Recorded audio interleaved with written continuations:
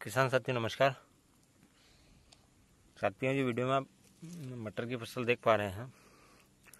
ये हमने लगाई थी 11 अक्टूबर 2023 और आज है 18 नवंबर 2023 यानी कि इसको एक महीना और छः सात दिन हो चुके हैं और आप सामने वीडियो में देख पा रहे हैं।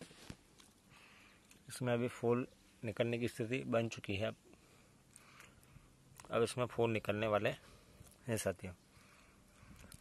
साथियों मटर में खाद कब देना चाहिए, वो मैं आपको बता देता हूँ कि जब आपकी नई गुड़ाई हो जाए दूसरी बार और जब फूल निकलने वाले हो, तब आप आप उसमें प्रति एकड़ दस किलो पोटास और चाहे तो आप सिंगल सुपर फास्फेट भी डाल सकते हैं, साथ में एक कट्टा एक एकड़ का और पचास किलो एक एकड़ का। और चाहे तो आप डीएपी डाल सकते हैं या फिर एनपीके डाल सकते हैं। जो कि आधा कट्टा एक एकड़ का एनपीके या फिर डीएपी और चाहे तो दस किलोग्राम या फिर हद से पंद्रह किलोग्राम प्रति एकड़ के हिसाब से आप इसमें पोटाश डाल सकते हैं। पोटाश से रहे, ये रहेगा कि आपका फूल ज़्यादा आएँगे और फल भी काफ़ी अच्छी मात्रा में आएगा।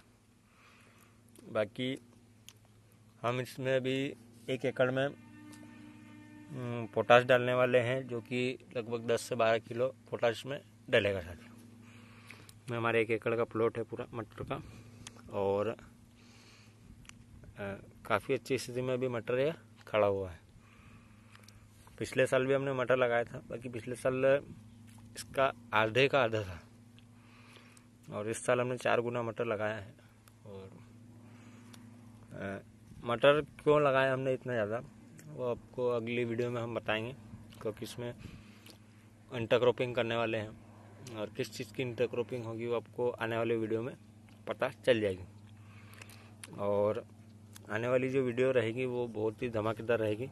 आप चैनल को, चैनल पे नए हो तो चैनल को सब्सक्राइब कर दें और बेल आइकन भी दबा दें, ताकि जो आने वाली वीडियोस हैं, वो उस पर काफ़ी अच्छा काम होगा और काफ़ी अच्छी अच्छी जानकारी उसमें आपको मिलने वाली है साथियों।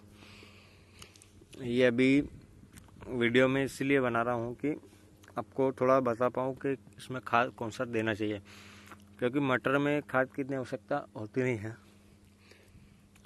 मटर जो है, उसमें बहुत ही कम सीमित मात्रा में खाद की आवश्यकता होती है। अब यूरिया भी बहुत कम डालें और चाहे तो आप 10 किलो प्रति एकड़ के हिसाब से आप उसमें पोटाश या फिर हद से पंद्रह किलो प्रति एकड़ के हिसाब से आप पोटाश उसमें डाल सकते हैं, सर। और उत्पादन बढ़ाने के लिए जो बाज़ार में फ्लावरिंग बढ़ाने के लिए केमिकल आते हैं मतलब दवाई वगैरह आती है, स्प्रे वगैरह आते हैं तो आप चाहें तो उसमें से एक स्प्रे कर सकते हैं। और नहीं भी करेंगे तो भी कोई दिक्कत होती नहीं है, क्योंकि ये हमारी जी एस टेन वेराइटी है। जो कि G S ten number one variety मानी जाती है मटर के मामले में। और इसकी फलियाँ भी काफ़ी बड़ी होती है और वजनदार होती है।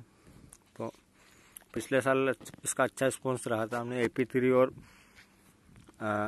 जी एस टेन लगाई थी। ए पी थ्री का भी फल काफ़ी अच्छा आया था। बाकी एफ़ थ्री में ये था कि वो जल्दी ख़त्म हो गई थी। यानी कि इसकी चार बार तड़ाई, तुड़ाई हुई थी एफ़ थ्री की और वो ख़त्म हो गई थी। ताकि जी एस की हमने पाँच से छः बार तुड़ाई की थी और फिर भी उसमें कई कई फलियाँ लगी हुई थी, बाकी हमको बाद में दूसरी फ़सल लगानी थी, इसलिए हमने उसको जल्दी हटा दिया। था तो साथियों, मटर में आप किस किस चीज़ों की इंटरक्रॉपिंग कर सकते हैं और अच्छा फ़ायदा कमा सकते हैं, वो हम आने वाली वीडियो में आपको ज़रूर बताएँगे साथियों। तो चैनल पर नए हो तो चैनल को सब्सक्राइब कर लें और बेल आइकन को भी दबा दें, ताकि हर अपडेट आपको समय पे मिलती रहे। मिलते हैं अगले वीडियो में, तब तक के लिए जय हिंद, जय जवान, जय किसान।